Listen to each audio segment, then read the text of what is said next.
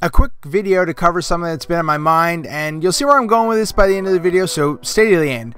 Hasbro had a G.I. Joe panel at WonderCon this past weekend, and we got to see a bit more of the upcoming G.I. Joe classified Cobra Ferret. Now, this isn't anything new, as the Cobra Ferret has been previously shown off at a fan stream a couple of months ago. However, it makes me ask the question, why does Hasbro do this? Now, you're asking, what do you mean? So some people might not like this video, so if you happen to like it by the time you finish it, please do think about leaving a like and think about subscribing if you're not already. Now, let's jump in. The Cobra Ferret has always been a much loved and liked small vehicle. It has often been requested to join the G.I. Joe classified line since vehicles started to appear in the line. Uh, I myself have done several speculation videos on it joining the line long before it was actually announced.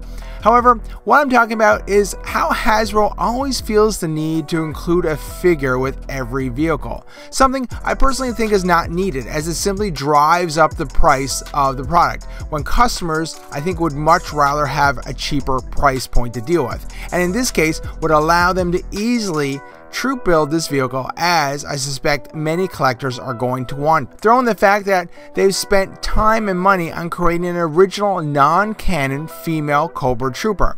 Now don't get me wrong, I have no issues about females in the Joe line, but we all know that if this had to been released as a single pack figure, it would have been a shelf warmer, just like some of the other female characters. Yes, I'm looking at you, Lady Jaye.